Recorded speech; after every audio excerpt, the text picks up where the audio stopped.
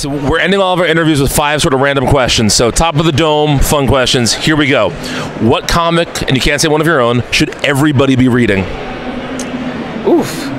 I would say Justice League Dark.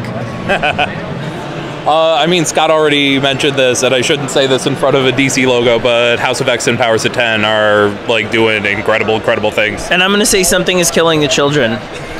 You are a good friend and a good shill, my friend.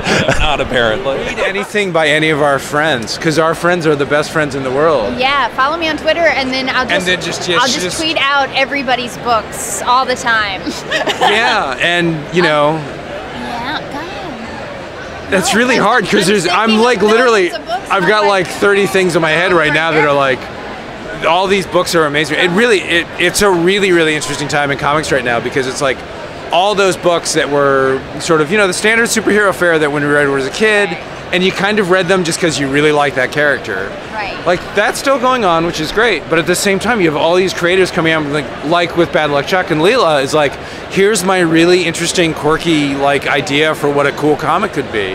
Like, and so many people are doing those kinds of books now. Those kind of like personal books. Like, go read one of those. Just Yeah. find somebody's personal book that like doesn't fit in necessarily with, with what's going on anywhere else in the market, and Right. just read that because like. And Somebody spent years thinking about that book Right. and, And it- dreaming of the day of doing that book. It's so You've got to cool because right now, so many of the publishers are like making these books, and Dark Horse is really kind of just stepping up to like, hey. We're gonna make weird books, and I'm like, yeah, come be weird with us. False. No joke. Really, it's great. And Wow, you're really throwing them out. And we three. Um, I think anyone should probably read. I would recommend EC Comics. to Anybody like a like like Judgment Day, like I think is like a, a super powerful piece still. Divinity. They should read Divinity. Yeah. It's also a great book. Yeah. I'm gonna keep going. Can't go wrong with One Punch Man. It's one of the best. Uh, I mean, it's secretly the best superhero comic being made in the world right now. Sorry, everyone else, but uh, that's a fantastic book. Um, I really, really loved um, Darcy Van Poelgeest and Ian Bertram's Little Bird, which is, um, I think it just wrapped. Um, uh, dystopian sci-fi comic from, from Image Comics. Beautiful, beautiful work. And then let me give one more shout out to. No, honestly, those two. Uh, Wonder Twins by um, Mark Russell is such a great book. I, I hate him. I really he, he uh, between the Flintstones and and Snagglepuss and now Wonder Twins. He's at the t- and I see him all the time and I just want to punch him in the face. Oh man, I don't know if people are overlooking or not, but like I definitely have been obsessing with Coda from uh, Boom Studios right now. Like the art on the right, and it's just it's so everything that I love. That that's the one. And again, it's not is I don't know if they're overlooking it or not, but that's the one that I've been I've been obsessing, and uh, so it's a really good book. I've also been going a lot through manga lately, like old stuff that I should have read. So I'm reading 20th Century Boys right now, which is Well, that's, I like oh that man, that's good. That's really good. I li- no, no, no, you cannot. So yeah, I don't know. Those those are the things that I'm obsessing. You know, I've been obsessing with lately. Oh, I really loved uh, Alex Paknadel's uh, Friendo series with Vault. I thought that was fantastic. Also, Jeff Loveness's uh, series uh, Judas, I thought was just brilliant. Uh, there's so many, but those are two that just really stood out for me last year. Okay, this is this is a terrible answer because everybody is reading it. But House of X and Powers of X are the first comic in a long time that has become like a religious appointment for me. Like I have to read it the moment it comes out, and so yeah, I just I think anyone that hasn't clued into it yet. maybe Isola by Brendan Fletcher and Karl Kerschl, and um, uh, that's just a thing of beauty. That book is just the artwork by Michelle and Karl. Just it's just like utterly gorgeous. Um, and Brendan Fletcher is one of my favourite writers as well. Uh, and maybe Middle West. I'm reading that at the moment by Skottie Young. That's just so good. It's really like gets the like hits you in the heart, and the artwork on that is just utterly beautiful. I can't remember the name of the artist. I'm so sorry, but uh, yeah, I buy that book mainly for the art as well. But, uh, yeah. Um, I'm really enjoying a lot of um, Mark Russell's work, including the Wonder Twins and uh, Red Sonja too, which is I think that one I think is really flying under the radar a bit, and it's quite it's quite interesting. It's it's got a lot of it's got a lot of world building going on under the surface. I'm, I'm, I'm gonna jump in again. Yeah, I'm gonna jump in again. I'm gonna say uh, these Savage Shores. If you haven't checked it out, uh, Ram V, Sumit Kumar. Uh, it, it is Vittorio Astone, uh, uh, Aditya Bidikar on letters. It's absolutely a masterpiece. Yeah. It is. It is. Yeah, that's that's a great one. Um, uh, Money Shot is coming out next month, I believe, November. Yeah, Money Shot from uh, uh, Tim Seeley uh, is writing it, and uh, art is uh, Rebekah, Isaacs. Yeah, uh, who she's wonderful, um, and that that book is um, hilarious, and I think it's the kind of I think it's the kind of book that comics needs. I think it's a book that's like it, it's just it, it sort of fits in the one of my books, Waste of Space Wheelhouse, where it's like it has it's irreverent. It's not it's not afraid to just be to go a little bit beyond the line a little bit in, in a in a comfortable, friendly way, and, mm-hmm. and it's it's it's but it's also as, as a giant beating heart. That book, it's a book about the what is it? It's about the adult enter, entertainment industry in space. It's crazy. It's hilarious. It's hilarious and so tender and warm. And it's I, I think it's I'm a huge fan. Tim is one of my best friends. I'm a huge fan of his work, but I think this is potentially one of his best, which is saying a lot. I just read an incredibly great comic that I think everyone should read. It's called They Called Us Enemy. George Takei wrote a memoir of his family, his Japanese family, obviously being placed into what we now know as the Japanese internment camps during World War II, and uh, really wonderfully uh, adapted by his co-writers, uh, Justin Eisinger and Steven Scott, if I have that correct.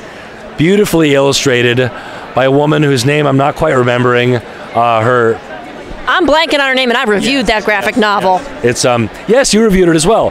It's really um, something pretty incredible about politics, social change, social trends, how politics matters. Some people don't think politics matters. Well, now, with what we're dealing with now, it matters more than ever. The rights of people can easily be trampled on by the current administration and perhaps future administrations. This is a graphic novel. It is called They Called Us Enemy and it is written by George Takei of Star Trek fame, obviously. Everyone should go out and seek it. It is in paperback, it is in hardcover, and it is available digitally. I read it on Comixology, actually. Uh, that's a very socially important comic. Also, I want to plug the comics work of a writer and artist named Noah Van Sciver. Noah Van Sciver is an indie comics guy. He writes and draws autobio stuff. He writes and draws uh, history comics. Really incredible. He is related to Ethan Van Sciver, but he does not share the views in any way of his brother. He is he has kept very, himself very separate from that. He has been making comics in the trenches for 15 or 20 years. And he's like, he's essentially like another Harvey Pekar or Dean Haspiel. He's a very nice guy. His work is phenomenal. And I, I suggest people go out and see. You know, I think there's a lot of amazing stuff being done, mostly in the world of the graphic novel. Um, as a reader, I bounce around a lot on the serial comics. I'm very interested and curious to see what Brian Bendis is doing with the Legion characters that I lived with for so many years. At this point, I've seen about two pages of it. Looks like it's going to be fun. Justice League Dark. Yeah. I like James Tynion a lot. He's a good friend of mine. It's really good. It's a very good book. It's a very good book. The last arc has been phenomenal. James is great. James is great. He's a terrific writer, and he's really putting a lot of heart into that book.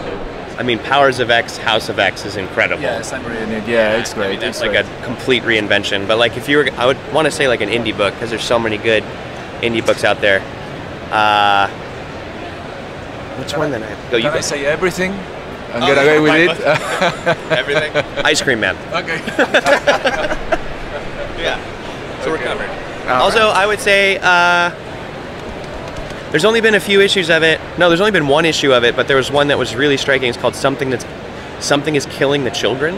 Oh, by James Tynion. Yeah, Uh, that's- I'm very much looking forward to issue two of that. Yeah. Uh, I also read uh, Little Bird.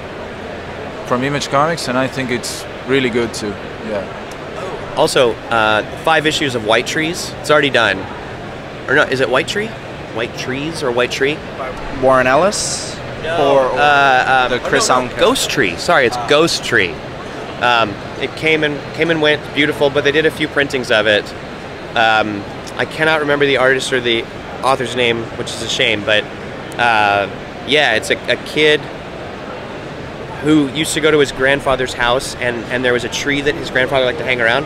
And then as a grown man, he goes back and realizes that like spirits of ancestors hang around that tree, and that like the whole story is very kind of personal and family, and it's beautiful. I love it. Yeah, I think it was published by IDW. it was. That's right. Yes, it's great. Um, I'm gonna say, just popped straight into my head, uh, The Prince and the Dressmaker by Jen Wang. I have to say, my all time favorite comic book story Amazing Spider Man 248 The Kid Who Collects Spider Man.